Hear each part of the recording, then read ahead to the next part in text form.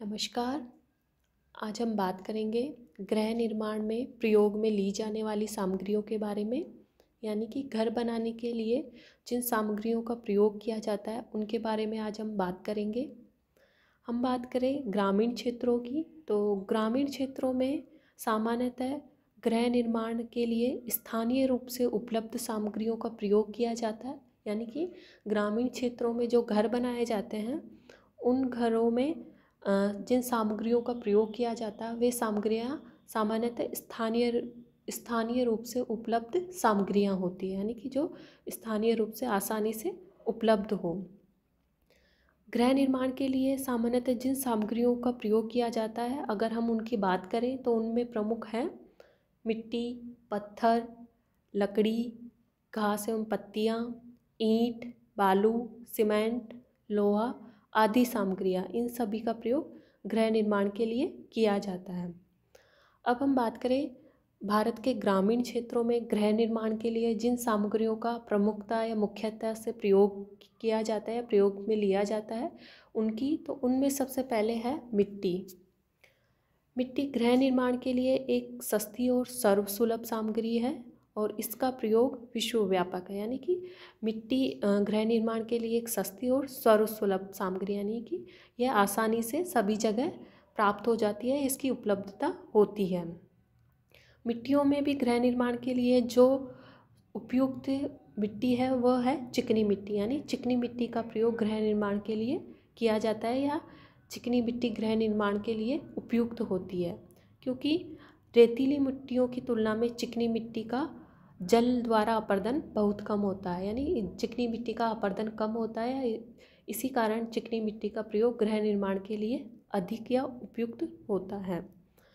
मिट्टी से ईंटें भी बनाई जाती है और इन ईंटों को पकाकर पक्की ईंट भी तैयार की जाती है, जो कि अधिक मज़बूत और टिकाऊ भी होती है। भारत के अधिकांश ग्रामीण क्षेत्रों में मिट्टी का प्रयोग गृह निर्माण के लिए किया जाता है। केवल पर्वतीय भागों को छोड़कर, पर्वतीय भागों में मिट्टी की उपलब्धता नहीं होने के कारण वह पत्थरों की उपलब्धता अधिक होने के कारण उन क्षेत्रों में मिट्टी के घर कम बनाए जाते हैं, जबकि भारत के अधिकांश ग्रामीण क्षेत्रों में मिट्टी के घर बनाए जाते हैं। अगर हम बात करें उत्तरी भारत की या गंगा के मैदानी क्षेत्रों की, इन क्षेत्रों में कच्ची मिट्टी के बने हुए घर अधिक देखने को मिलते हैं। और ऊपरी गंगा घाटी के क्षेत्रों की बात करें तो ऊपरी गंगा गंगा घाटी के क्षेत्रों में कच्ची मिट्टी के, मिट्टी की दीवारों से बने घर होते हैं, जबकि इनकी छतें खपरेल से बनी हुई होती है। यानी कि गंगा के घाटी वाले क्षेत्रों में कच्चे मकान बने हुए होते हैं, जबकि इनकी छतें खपरेल से बनी हुई होती हैं। नेक्स्ट, दूसरे नंबर पे हम बात करते हैं पत्थर की। पत्थर गृह निर्माण के लिए प्रयुक्त होने वाला एक प्रमुख पदार्थ है, जो एक अधिक मज़बूत और टिकाऊ होता है। अगर हम पत्थरों के प्रकारों की बात करें तो इनमें भी अनेक प्रकार के पत्थर होते हैं। इनमें है प्रमुख बलवा पत्थर, ग्रेनाइट, बेसाल्ट, संगमरमर आदि, जिनका की प्रयोग गृह निर्माण की सामग्रियों में किया जाता है। पत्थर के बने हुए मकान उन क्षेत्रों में अधिक मिलते हैं, जिन क्षेत्रों में या स्थानीय रूप से पत्थर की उपलब्धता हो, यानी जिन क्षेत्रों में पत्थर की स्थानीय रूप से उपलब्धता हो, उन क्षेत्रों में पत्थर के मकान अधिक बनाए जाते हैं। जैसे कि हम बात करें भारत के उत्तरी क्षेत्र की, जिसमें कि हिमाचल प्रदेश, जम्मू कश्मीर, उत्तरांचल, सिक्किम, इन क्षेत्रों में पत्थर के बने हुए घर या मकान अधिक देखने को मिलेंगे क्योंकि इन क्षेत्रों में स्थानीय रूप से पत्थर की उपलब्धता होती है।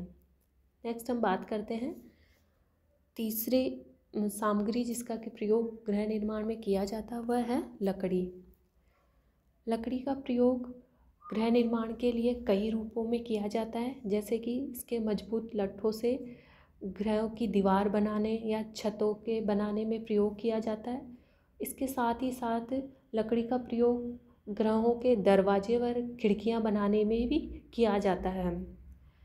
लकड़ी से बने हुए घर उन क्षेत्रों में अधिक देखने को मिलते हैं, जिन क्षेत्रों में स्थानीय रूप से वनों की उपलब्धता हो या स्थानीय रूप से लकड़ी की उपलब्धता अधिक हो, वहाँ पर लकड़ी के बने हुए घर अधिक मिलते हैं।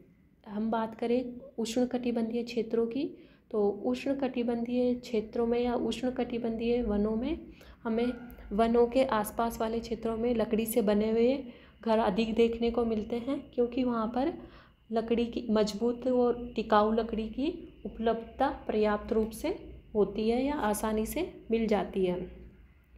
भूमध्य रेखीय क्षेत्रों में जैसे अमेजन बेसिन, कांगो बेसिन, दक्षिणी पूर्वी एशियाई देशों में इन क्षेत्रों में गृह निर्माण में लकड़ी का प्रयोग सर्वाधिक होता है।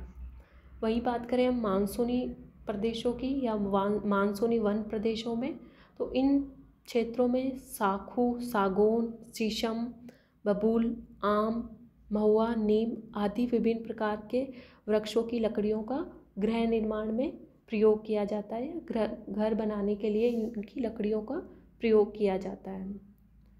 नेक्स्ट हम बात करते हैं गृह निर्माण के, निर्माण में प्रयोग ली जाने वाली अन्य सामग्रियों की या आधुनिक सामग्रियों की। तो वर्तमान में घर बनाने के लिए आधुनिक सामग्रियों का प्रयोग किया जाता है। इनमें हम सम्मिलित करते हैं ईंट, पत्थर, लोहा, कंक्रीट, सीमेंट, बालू आदि। ये सभी आधुनिक समय में घर बनाने के लिए प्रयोग में ली जाने वाली सामग्रियाँ हैं। इन सामग्रियों से वर्तमान में शहरी क्षेत्रों में बहुमंजिले व मज़बूत बना, मज़बूत मकान बनाए जा रहे हैं। तो ये तो बात की हमने, भारत के ग्रामीण क्षेत्रों में घर बनाने के लिए प्रयोग में ली जाने वाली सामग्रियों की, अब हम बात करते हैं ग्रहों के या घरों के प्रकारों के बारे में। तो ग्रहों के प्रकारों के बारे में सबसे पहले हम बात करते हैं आकृति के अनुसार, ग्रहों के बारे में आकृति के अनुसार घर या मकान के बारे में। तो इसके अंतर्गत हम सबसे पहले बात करेंगे आयताकार या वर्गाकार घर की। आयताकार या वर्गाकार घर में आँगन युक्त घर होता है या आँगन विहीन घर होता है। दूसरे नंबर पे हम बात करते हैं, एल आकृति वाले घर की। तो एल, एम, टी आकृति वाले घर जिनमें कि सभी कक्षों के दरवाजे बाहर की ओर खुलते हैं और इस आकृति वाले अधिकांश विद्यालय बने हुए होते हैं, यानी विद्यालयों का निर्माण अधिकांशतः टी या एल आकृति का बनाया जाता है। तो ये तो बात की हमने आकृति के अनुसार ग्रह के प्रकारों के बारे में। दूसरे नंबर पे हम बात करते हैं। आकार के अनुसार ग्रहों के बारे में। तो आकार के अनुसार हम सबसे पहले बात करेंगे लघु आश्रय स्थलों की या लघु आश्रय या ग्रहों के बारे में, जिसमें कि ये छोटे प्रकार के घर होते हैं। दूसरे नंबर पे हम बात करते हैं एकल सहत ग्रहों की। इस प्रकार के घरों के भीतर सभी कक्ष प्राय भीतर की ओर या अंदर की ओर खुलते हैं और एक ही मकान में कृषक परिवार और उसके पशु भी रहते हैं। यानी एकल सहत ग्रहों के अंतर्गत कृषक और कृषक का परिवार साथ ही उसके पशु एक ही मकान के अंतर्गत रहते हैं। दूसरे नंबर पे हम बात करते हैं बहुखंडीय ग्रह की। इसके अंतर्गत कृषक परिवार और पशुओं के रहने के लिए और भोजनालय के लिए या स्टोर या भंडार गृह के लिए अलग अलग कक्ष होते हैं। यानी कि इस एकल सहत ग्रह के अंतर्गत तो कृषक परिवार और उसके पशुओं के लिए एक ही मकान होता है, जबकि बहुखंडीय ग्रह के अंतर्गत कृषक परिवार उसके पशुओं के रहने के लिए, भोजनालय के लिए और स्टोर रूम के लिए मकान के अंतर्गत अलग अलग कक्ष बने हुए होते हैं। नेक्स्ट हम बात करते हैं। नेक्स्ट है एक मंजिला घर है, जिसमें कि ए, मकान में एक ही मंजिल बनी हुई होती है। दूसरे नंबर पे है, द्विमंजिला घर है, जिसमें दो मंजिल का मकान होता है।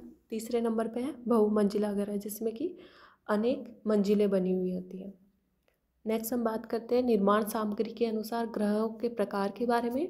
इसके अंतर्गत सबसे पहले है झोपड़ी, दूसरा है कच्चा ग्रह तीसरा है पक्का ग्रह झोपड़ी का निर्माण घास फूस या खफरेल आदि से किया जाता है। कच्चा ग्रह का निर्माण मिट्टी आदि उपलब्ध सामग्री, स्थानीय रूप से उपलब्ध सामग्री से किया जाता है, जबकि तीसरे नंबर पे है पक्का ग्रह इसका निर्माण पत्थर, पकी हुई ईट, लोहा, कंक्रीट, सीमेंट आदि से किया जाता है।